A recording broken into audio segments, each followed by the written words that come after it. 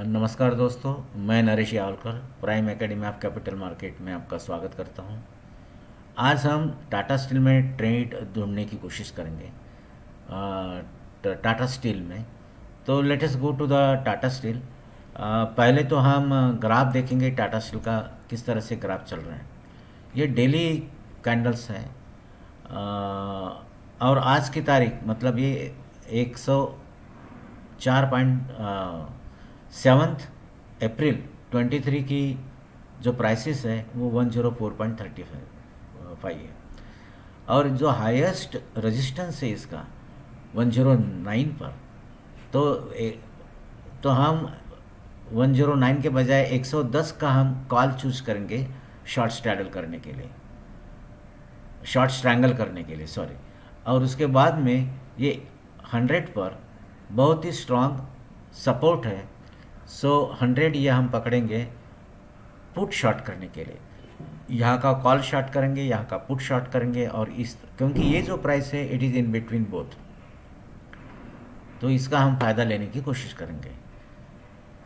तो हम ये भी देखेंगे ओपन इंटरेस्ट का एनालिसिस कर लेते हैं अगर आपको ट्रेड करना है ऑप्शंस में और बेसिकली कॉम्प्लेक्स स्ट्रेटजीज लेने हैं, और शॉर्ट स्ट्रैडल या शॉर्ट स्ट्रैंगल ये बहुत ही अनलिमिटेड लॉस वाली स्ट्रैटेजी रहती है।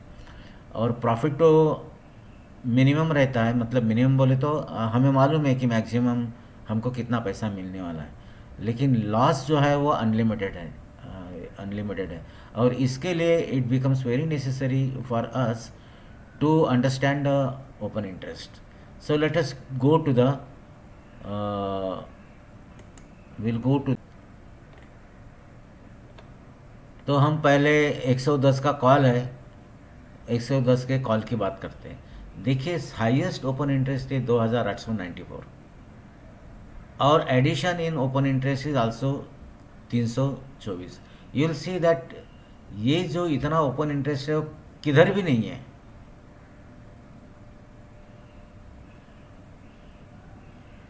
और करंट भाव है, ये one zero four point something और ये जो है एटीएम का कॉल और एटीएम के पुट को ओपन इंटरेस्ट ज़्यादा ही रहता है तो that is not a big thing अगर हमको स्ट्रैंगल करना है तो हमको वो ओपन वो स्ट्राइक देखना है कि जिसमें सबसे ज़्यादा ओपन इंटरेस्ट है।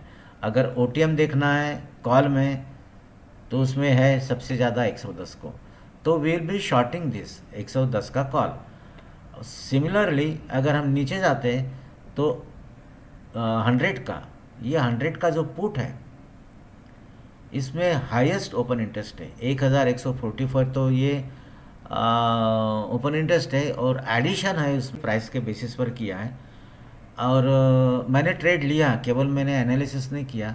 I have taken the trade I will show my trade here ये मेरे मेरा ये एक्चुअली ट्रेड है। सो so, हमें ये भी मालूम है जब हम कॉल शॉर्ट करते हैं या पुट शॉर्ट करते हैं तो मैक्सिमम उतना ही पैसा मिलेगा। तो मुझे एक रुपया पॉइंट ज़ीरो फाइव ये रेट है और लॉट साइज़ है पाँच हज़ार पाँच सौ तो मुझे मैक्सिमम ये साढ़े पाँच हज़ार इधर मिलेगा और मैक्सिमम चार हज़ार इधर मिलेगा। बस इतना ही मैक्सिमम मिलेगा। लेकिन अगर मार्केट यहाँ से बहुत निक ऊपर चला जाता है तो ये बहुत अनलिमिटेड लॉस होगा। और ये नीचे जाता है बहुत ज़ोर से तो मुझे पुट में अनलिमिटेड लॉस होगा। लेकिन हम हम तो देखते रहेंगे ना, ऐसा तो नहीं है कि हमने एक ट्रेड ले लिया और ये सत्ताईस तारीख को एक्सपायरी है तो सत्ताईस तारीख तक हम रुके रहेंगे। ऐसा तो नहीं होता। है तो हम ध्यान ध्यान में रख ध्यान देते रहेंगे कि भाई मेरे को कहाँ क्लोज करना है।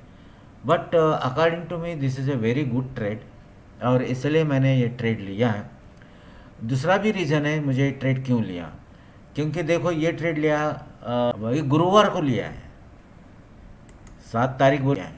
I have taken this trade on the six of six of April this trade was taken on six of April resistance and this is a strong support और there and we were exactly in between so why not to take the short strangle that is the idea let us हाँ ये जो trade है ये ये जो date है इस so let us go further and I will tell you why this trade was taken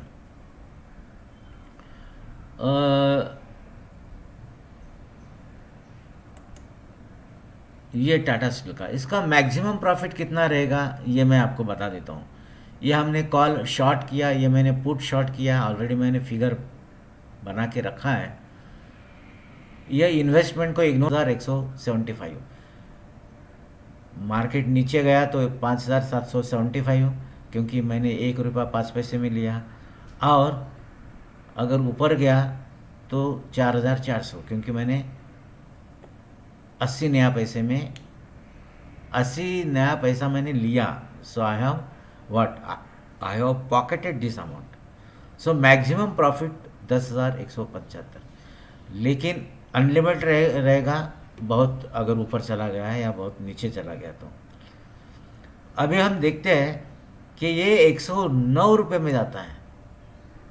मतलब ये जो हमारा 110 का जो कॉल हमने सेल किया वहाँ तक जाता है और वहाँ तक रुकता है। मतलब वहाँ जाने के बाद वो आ, ये ये जो फिगर्स है up to the date of expiry तो एक्सपायरी तक 109 में रहता है। तो मुझे दस हज़ार वन सेवेंटी फाइव का प्रॉफिट होगा। और अगर ये हंड्रेड तक रुकता है, मार्केट 104 से एक, पाँच से सौ तक, चार चार टका गिरता है, फिर भी मुझे दस हज़ार एक सौ सेवेंटी फाइव रुपीज़ मिलेगा। तो मैक्सिमम मेरा जो प्रॉफिट है, वो है दस हज़ार एक सौ सेवेंटी फाइव ये इसका और दूसरा रीज़न है why have taken this rate I am telling you ये इसका हम थीटा देखते हैं। Okay okay. ये 110 का जो कॉल मैंने बेचा, उसका थीटा है पाँच नया पैसा। और और सौ का जो मैंने पुट बेचा उसका भी थीटा है पाँच नया पैसा। सिक्स नया पैसा समथिंग है। सो फॉरगेट सिक्स नया पैसा लेटेस्ट कंसिडर फाइव नया पैसा। तो हर एक दिन मुझे दस नया पैसा मिलता है। हर एक दिन मुझे दस नया पैसा, दस नया पैसा इंटू पाँच हज़ार पाँच सौ तो कितना होगा? साढ़े पाँच सौ हो गया। तो साढ़े पाँच सौ रुपया मुझे फ्राइडे का मिल गया। साढ़े पाँच सौ रुपया मेरे को सैटरडे को मिल गया। और साढ़े पाँच सौ रुपया मुझे संडे को मिलेगा। ठीक है तो ये तीन दिनों को, तीन दिन का पकड़ के साढ़े पाँच सौ के हिसाब से डेढ़ हज़ार का तो प्रॉफिट मुझे ऐसे ही मिलेगा यहाँ पर, मिल जाएगा। सवाल ऐसा है कि मंडे को अगर गैप अप और गैप डाउन से ओपन हुआ तो क्या होगा? देखो गैप अप से ओपन हो गया तो कॉल बढ़ जाएगा और गैप डाउन से ओपन हुआ तो पुट बढ़ जाएगा। ये इसमें जो मुझे लॉस होगा, ये लॉस से ज़्यादा अगर मुझे थीटा का फ़ायदा मिले, मिलता है तो मुझे टेंशन नहीं है।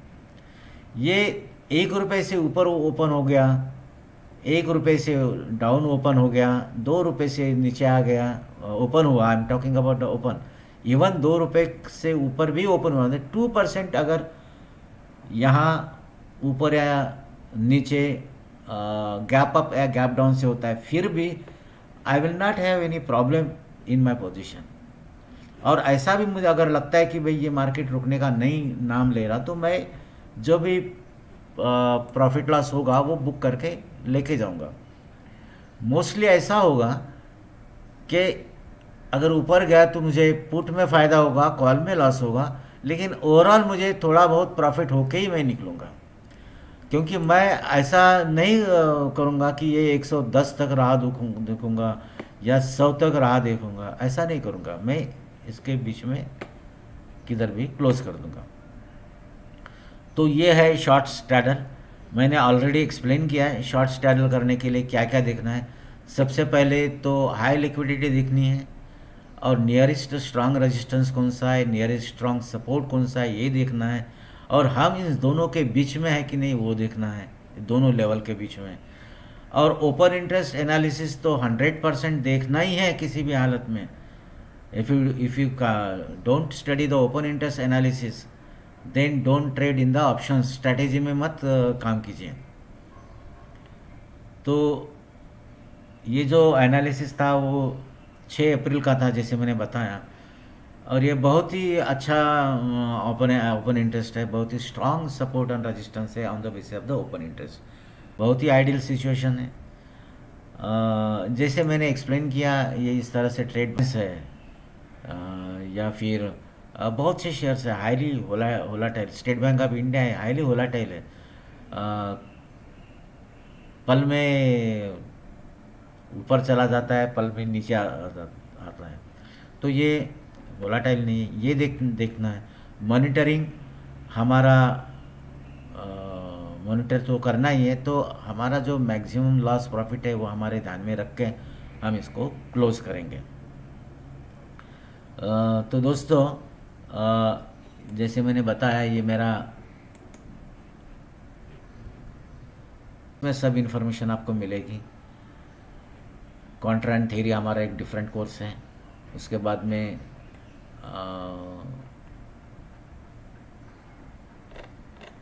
ये मेरा यूट्यूब चैनल है। प्राइम एकेडमी आप में जाइए। इसमें, इस यूट्यूब चैनल को मैं ये बता देता हूँ कि मैं सेक्टर एनालिसिस भी बीच बीच में करते रहता हूँ। मेरा कहना है कि डिफेंस सेक्टर बहुत ही आगे चला सक, जा सकता है। और ये डिफेंस सेक्टर में ये एक बेल करके भारत इलेक्ट्रॉनिक्स मैंने एक एग्जांपल दिया, ये ज़रूर, ये रिसेंट है छः छः दिन के पहले, तीन दिन के पहले, और ये फार्मास्यूटिकल इंडस्ट्रीज़ बहुत अच्छी हैं। और ये लाइव ट्रेड्स हैं। ये सब लाइव ट्रेड्स है, जैसे मैंने अभी जो लाइव ट्रेड लिया, और मैं दिखाया, ये कुछ दो वीक्स के पहले ये रिलायंस का है मेरे ख्याल से। नहीं, ये है एच डी एफ़ सी का। तो ये बहुत ही अच्छे शेयर्स है मनी मैनेजमेंट पर आपको बहुत वीडियोस मिलेंगे। और ये एक नाइन्टी ईयर्स ओल्ड मेरा स्टूडेंट है बहुत अच्छा ट्रेड करता है बहुत सक्सेसफुल ट्रेड्स है ये खुद क्लासेस चलाते हैं।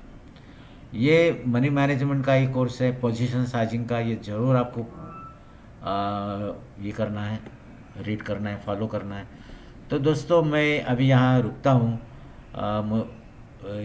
और ये जो अगर वीडियो आपको अच्छा लगता है तो इसको आप सब्सक्राइब कीजिए शेयर कीजिए और ज़्यादा से ज़्यादा लोगों की तरफ़ स्प्रेड कीजिए और कमेंट्स कीजिए। कमेंट्स करके आपको किस शेयर पर या किस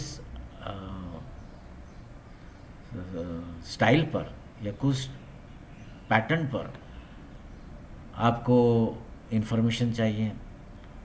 अगर ऑप्शंस की कोई स्ट्रैटेजी है, उस पर आपको इन्फॉर्मेशन चाहिए तो कमेंट्स पर आप लिखिए। मैं उस पर बात करूँगा। मैं 1991 से इस फ़ील्ड में हूँ। मेरी सब इन्फॉर्मेशन आपको यहाँ मिलेगी। अगर आप मेरे बारे में देखोगे तो एंड आर्टिकल्स मैंने, काफ़ी आर्टिकल्स लिखे लोकसत्ता में। लोकसत्ता में मैंने बहुत आर्टिकल्स लिखे हैं। तो दोस्तों इसी सद्भावना के साथ मैं चाहता हूँ कि आपको, आपकी ट्रिप सक्सेसफुल रहें। आप ज़्यादा से ज़्यादा सक्सेसफुल रहो, बहुत पैसा कमाएँ। इसी सद्भावना के साथ मैं आपका दोस्त नरेश यावलकर आपसे विदा लेता हूँ। Thank you.